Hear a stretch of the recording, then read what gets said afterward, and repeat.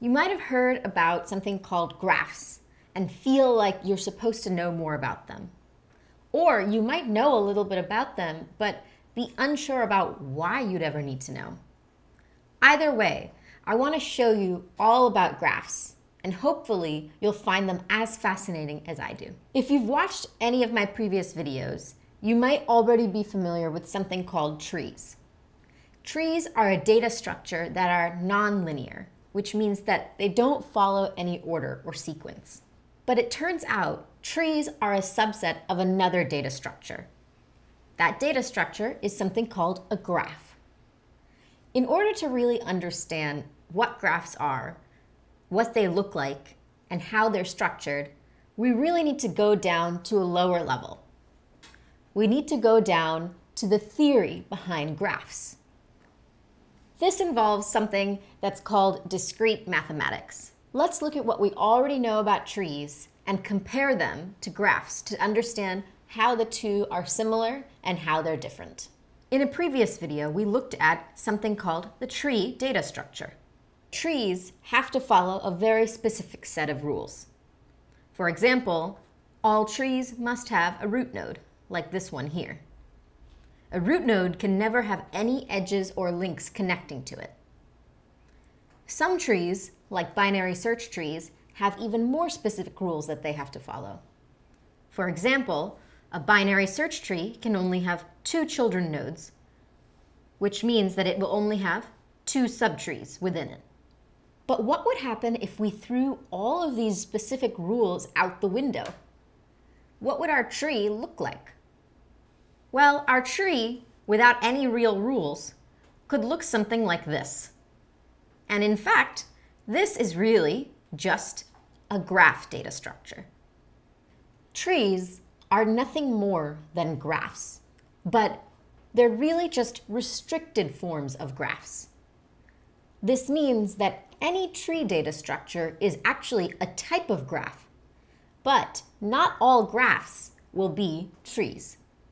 Now that we know that this is a tree and this is a graph, let's think about how the two are different. We know that a tree can only flow in one direction. That is to say, from the root down to its children.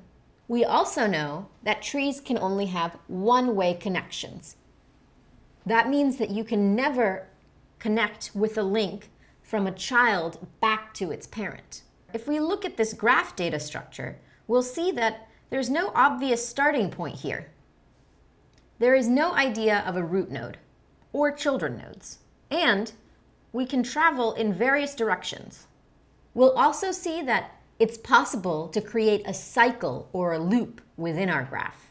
Since trees are just a subset of graphs, we can be sure that the parts of a tree are also going to exist in the parts of a graph.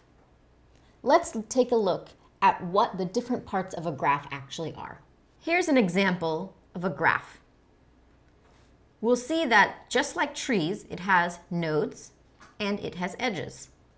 Another name for nodes, especially in the context of graph theory, is a vertex. A graph could have many vertices but it really just needs one vertex in order to be called a graph. Notice that nodes can be connected by edges in any way possible. An important distinction with graphs is that edges can connect nodes in any way that they want. There really are no rules in terms of how edges can link different nodes in a graph together. There are a couple of different types of edges that we might see in graphs, but there are two that are especially important. The reason that they're so important is because the types of edges that we find in a graph helps us understand what type of graph we're dealing with. The two different types of edges that we'll be dealing with for the most part are directed edges and undirected edges. An edge that has a flow from one node to another and not a bidirectional flow is known as a directed edge. We often say that the edge connects an origin node to a destination node, and hence it's directed because it has a directional flow. If the edge that connects two nodes allows for us to travel between both the nodes in both directions, it's a bidirectional edge. The term for this is an undirected node, since there's no concept of directional flow. We can travel between one node and the other easily without having to worry about which one is the origin and which one is the destination. Here's an example of some nodes in a graph that need to be connected together.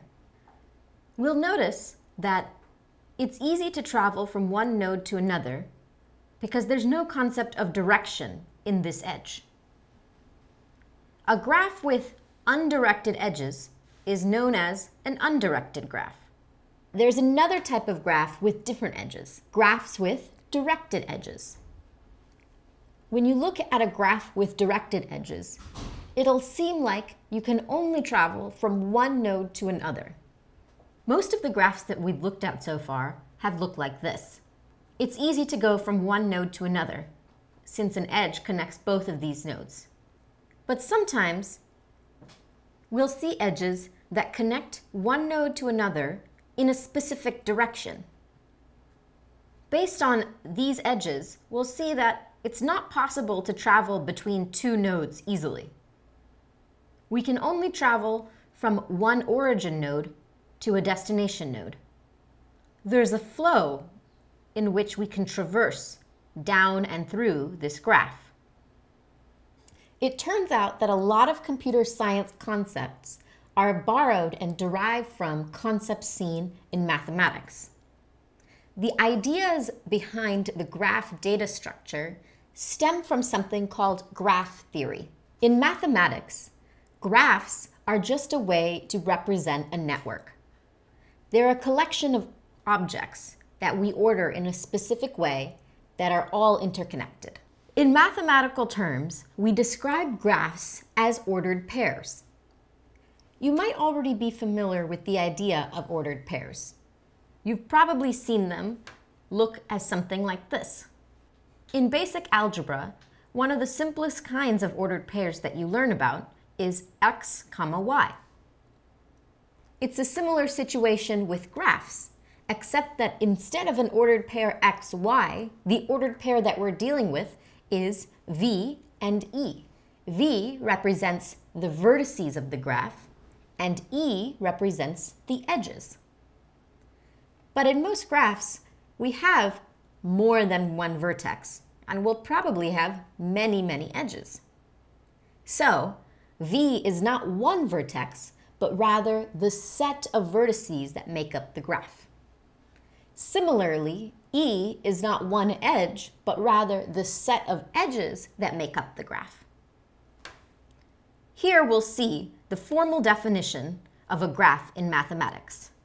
A graph, represented by G, is nothing more than a set of vertices and a set of edges as an ordered pair.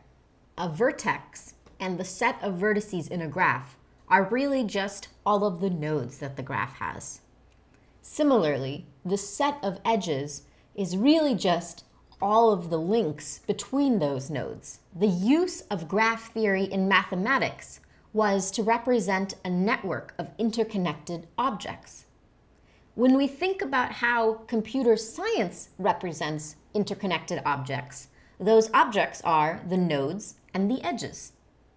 So, the formal definition of a graph in mathematics hasn't really changed too much in the way that we use it in computer science today. So now that we know the formal definition of a graph, and now that we know that a graph is just a set of nodes and a set of edges, let's look at a graph and try to formally define it ourselves. Here's a graph that has eight vertices, also called nodes, and 11 different edges, also called links. We know that a graph is a set of vertices and edges. So let's work with just the vertices first. We'll create a set of vertices that will be equivalent to the value of v. Here we have a set of all of our vertices. Notice that even though I put them in this order, there's no real order to how they appear. Graphs are different from trees in that there's no formal starting point. So even though I started with vertex 1, I could have easily started with another vertex. Ordering them in chronological numerical order just makes it a little bit easier to see in an example. So what would our edges look like? We know that our edges are going to be a set of the collection of edge objects. So let's define those now. This is one single edge in this graph. It identifies the edge that connects two nodes. This is the edge that connects the vertex 1 with the vertex 2. Notice how there's no necessary order to these two vertices when we define this edge. I could have also written this as vertex 2, comma, vertex 1. This is because of the fact that this is an undirected edge. It's easy to go from one vertex to the other and vice versa. Here, we'll see that we have all 11 of our edges represented in this set of edges. Remember, our set of edges represents our 11 edge objects. An important thing to note is that even though these edges appear in this order here, they could have appeared in any order. Another thing we'll notice is that in all of our edges, there was no order between which vertex was represented first. This was an undirected graph. Our graph could also be directed and have directed edges. So how would we represent a directed graph formally using the mathematical terms? Remember, a graph is just a set of vertices and edges. The vertices for this directed graph are very, very few. So let's just create our set of vertices to start. Now, when we deal with our edges, we have to be a little bit aware of how we're ordering things. When we were dealing with an undirected graph, we didn't use ordered pairs that had a sequential order. Instead, when we created an edge object, we could have put any vertex first when we were defining it. However, with a directed graph, it's not that simple. With a directed graph, there is an origin starting node and an ending destination node. The edge connects the origin and the destination node. So, when we create our set of ordered directed edges, we need to make sure that there is an order and sequence between the two nodes that we're representing for each edge. Let's draw out what our set of edges would look like, and this will hopefully become a little bit more clear. Let's look at this edge first. We know that it's only possible to go from vertex 1 to vertex 2. It is not possible to travel from vertex 2 back to vertex 1 we can write our definition for this one edge as an ordered pair. Since there is a sense of direction and order to this edge, we'll put vertex 1 first and vertex 2 second. In this scenario, you cannot put vertex 2 first because that would make it a very different edge. The fact that this is an ordered pair makes it easy for us to see at first glance that we're dealing with a directed graph, which is also called a digraph. As long as we can remember that our graph is directed and has a directional flow, we'll remember that our edges have to be ordered because there is an order to which we can traverse from one node to another via an edge. We've taken a look at some of the computer science aspects of graphs. We've also looked at the discrete mathematics and theory behind them. But let's zoom out for a second and think about why graphs even matter. It turns out that graphs are pretty much everywhere we look. If you ever use social media, then you've probably interacted with a graph. And the truth is, you're inside of a graph in many ways. Let's take the example of Facebook. When you have a social network like Facebook, you have multiple different nodes represented by the individuals who have accounts on Facebook. Here's me, represented as a node. Here are some more people on Facebook.